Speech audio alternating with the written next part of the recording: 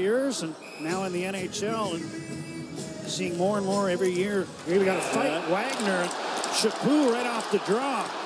And Chaput got the left hand free. And Wagner's in some trouble. But now he comes back with a right of his own, and this is a spirited strap. Well, this is from that hit. This is from that interference penalty where Wagner took Chaput down right in front of the penalty box. Little payback.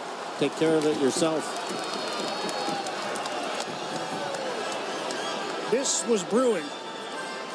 45 seconds before they dropped the puck, these guys knew what was going to happen. Well, and uh, as I was saying, uh, that's from that hit. Wagner and Chaput, okay, you want to take care of it? You're going to hit me like that with no idea that the puck was going to be there, and Wagner took the interference penalty.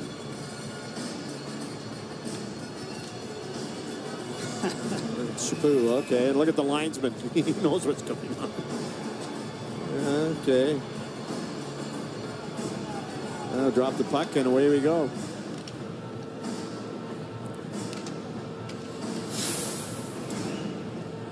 So they'll sit